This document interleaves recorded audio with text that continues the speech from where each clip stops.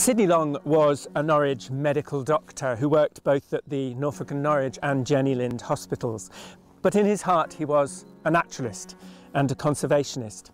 He served for many years as an officer of the historic Norfolk and Norwich Naturalist Society, and in 1926 he was the lead actor in the foundation of Norfolk Naturalists Trust that we know today as Norfolk Wildlife Trust.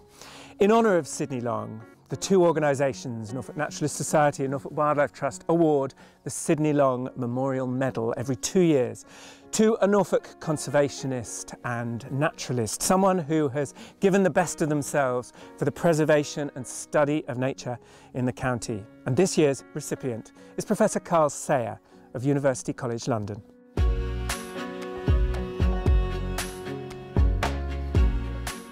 Carl, in Norfolk Conservation, you're universally associated with wetlands, with ponds and with rivers. Tell me how you came to be associated with wet habitats. From get-go really, from when I was a little tiny little boy, I, I, met this old man in the village. Before I could walk, put me on his shoulders and, and took me around the countryside.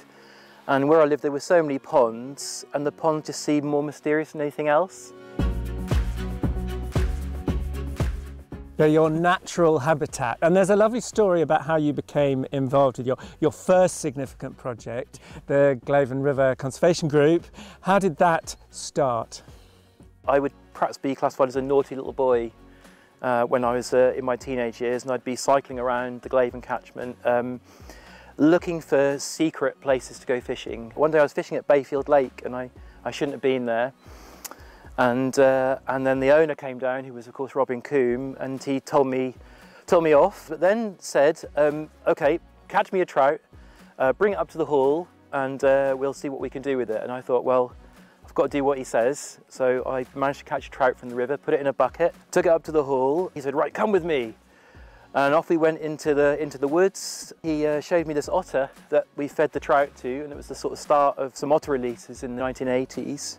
That was a real sort of formative experience really. I just thought this is amazing, I'm part of something here. And then when I finished my PhD and wanted to work back in Norfolk, I wanted to uh, sample shallow lakes including Bayfield Lake. So I knocked on the door and said, hello Mr Combe, can I survey your lake please?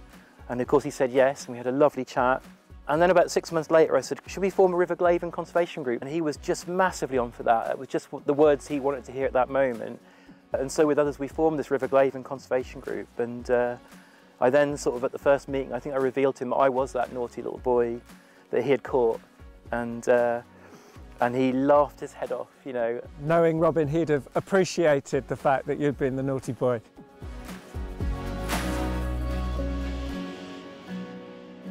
The Glaven Conservation Group has achieved a huge amount in the Glaven catchment, but you've also helped galvanise the Norfolk Pond project. Yeah, the River Glaven Conservation Group sort of started in the late 90s, and we were around before anyone was really doing a great deal of river restoration in lots of ways. Looked at what was going on in the Wensum, got inspired by some of that, and then tried to do some projects on the Glaven and but then I came to this farm where we're standing now and I met this amazing farmer called Richard Waddingham who, a bit like Robin, he checked me out, um, uh, but he, I was invited this time and he showed me his 40 ponds which are partly in the Glaven catchment, which is a great draw for me.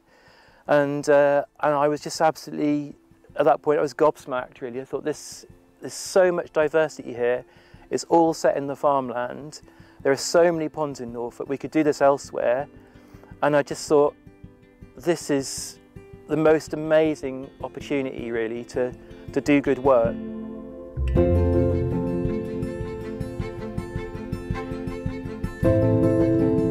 And so that's what we started doing. We started researching ponds, especially on this farm, to understand all the benefits of restoring them from being scrubbed over and, and resurrecting them, you know, redigging them out, the ghost ponds. And that led to the formation of the Norfolk Ponds project. So since then we've been going around uh, restoring ponds all over Norfolk. And what's next on your on your list of ambitions? What's what's the next frontier for Professor Carl Sayer in the Norfolk landscape? No, I mean you never know what's coming up next, do you? Because you you know I'll often find a species and think that needs some help, and then you just get passionate about it, like the crucian carp and working on the eel at the moment, which also needs lots of help. I have a sense, um, given just how many ponds there are in Norfolk and just how important they are, And there's so much to discover scientifically about the seed banks and how, uh, how things survive in the sediments of ponds for so long. I have a sense I might be stuck in ponds and working on ponds for the rest of my life, but um, the whole of the aquatic environment needs our help. You know, we've got, we've got rivers, floodplains, lakes, ponds in abundance in Norfolk. It's a, a dry county, but it has the most spectacular wetlands and they have been degraded and we need to fix them and it's big landscape projects which celebrate all those different things that will do it. So I'm in for that as well, but I'm, I'm in for I'm in for the duration really to till I drop, just trying to do good things for the ponds, lakes and rivers really. Well, it's an enormous amount that you and your many colleagues have achieved and Norfolk's conservationists are very grateful to you. Thank you.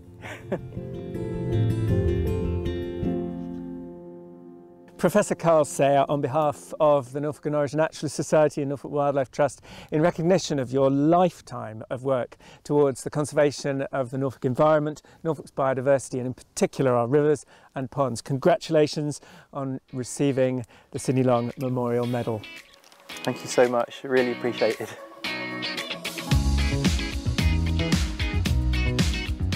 I feel really privileged to get this award. It's absolutely brilliant. I'm just a tiny pawn in a, a much bigger machine, really. You can't do good conservation without landowners, so just a huge thank to all the wonderful landowners, especially Richard Waddingham, whose farm we're standing on now, whose work entirely inspired me. All I'm really doing is putting his ideas into action. Just a huge, huge thanks.